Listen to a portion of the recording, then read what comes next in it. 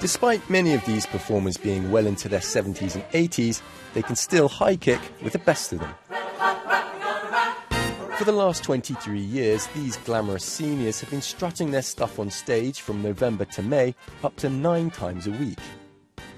It's just great. Um, I've always believed that you're only as old as you feel. You know, age is a number and it doesn't really matter. And it's great to have people come and see us and see us doing these things. I myself am so impressed with the 70 something year olds in this show. I'm younger and I'm, I just, you know, they're fabulous but the show won't go on.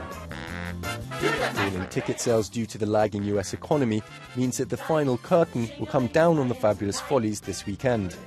The three hour musical revue and magic show is a home for many performers who aren't yet ready to hang up their dancing shoes.